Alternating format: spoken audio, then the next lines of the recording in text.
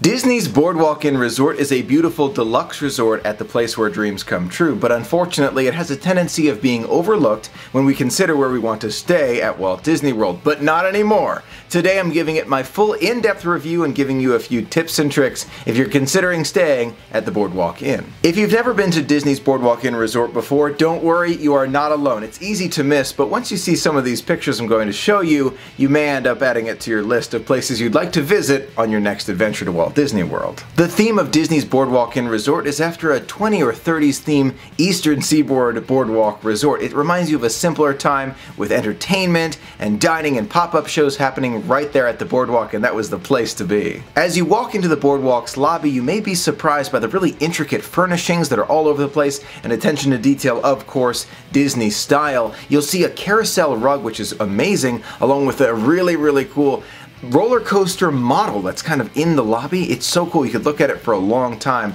and not get tired of it. Inside the lobby, you'll find lots of different places to sit down and relax, but you'll also find great spots to sit down outside the lobby on the deck Great spot for a kind of an afternoon relaxation after a long flight. From that outer lobby deck area, you can make your way down the stairs onto an area that I like to call the lawn. You'll find a very large area of grass, and during the holiday season, they'll have a larger than life tree right in the middle. It makes for a great photo. You can sit back and relax on the lawn or continue on and make your way to the boardwalk itself. From there you can make your way left or right and you'll find shopping and dining in both directions. Speaking of those dining experiences, the Boardwalk has 11 different dining venues. Can you imagine? They have the Abracadabra Bar, the Ample Hills Creamery, Big River Grill and Brewing Works, Broadway Bakery, Boardwalk Joe's Marvelous Margaritas, ESPN Zone Flying Fish, Funnel Cake Cart, Pizza Window, the To Go Cart, and Trattoria Al Forno. So you could eat at the Boardwalk for your entire vacation and try something new every time. That's how many different dining locations they have. Of all of those dining experiences, you've got the character dining at Trattoria Al Forno along with the signature service Flying Fish, which I thought was really good the last time I was there. This is basically the seafood trio here. You can see the octopus and the fish and the shrimp right there.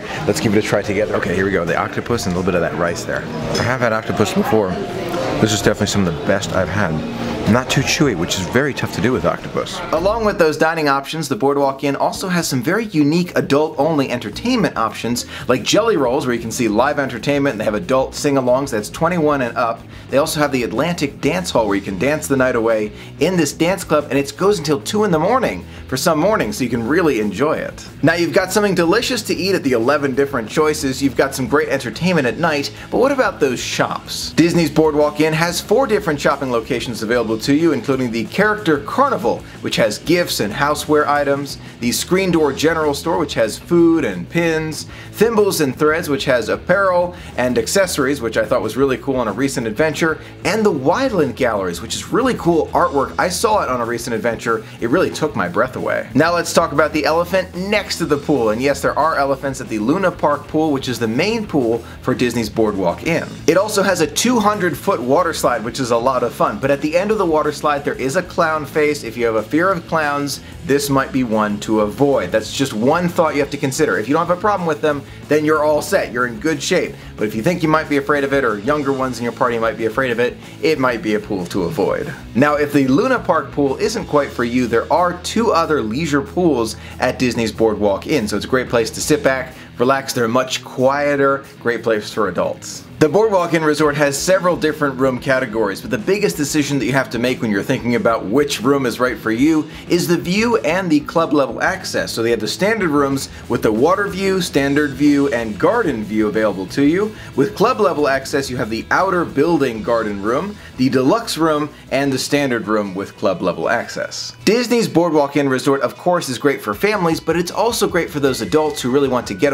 away a little bit and enjoy those evening activities. If you're a night owl, who loves the Disney experiences, you may want to take a closer look at Disney's Boardwalk Inn. One of the greatest advantages of Disney's Boardwalk Inn Resort is its location. You are as close as can be to Epcot. You can walk to and from as many times as you want and you're a quick boat ride away from Hollywood Studios. You could not ask for a better. With its 11 different dining options, a lot of great amenities and extra activities you can participate in, including adult activities, and its amazingly convenient location to Epcot and Hollywood Studios, I give Disney's Boardwalk Inn an A in my book. Now the only reason that the Boardwalk Inn got an A and not an A plus is because of that clown face at the end of the Luna Park pool slide. It can be a little bit scary for those younger ones, especially at night with the eyes that kind of glow. It can be a tiny bit scary. Other than that, it's a great, great resort. Now don't let that lack of a plus dissuade you from giving it a try. Boardwalk Inn is a phenomenal resort with a lot of great places to kind of hide away and forget the whole world. I really do enjoy it and I'm hoping to go back again really soon. So what do you think of Disney's Boardwalk Inn? Is it one of your favorite? Let me know your grade for Disney's Boardwalk Inn in the comments below and in the poll right there. I would love to hear from you. Thank you so much for being a part of the magic with me. Until next time, have a magical day.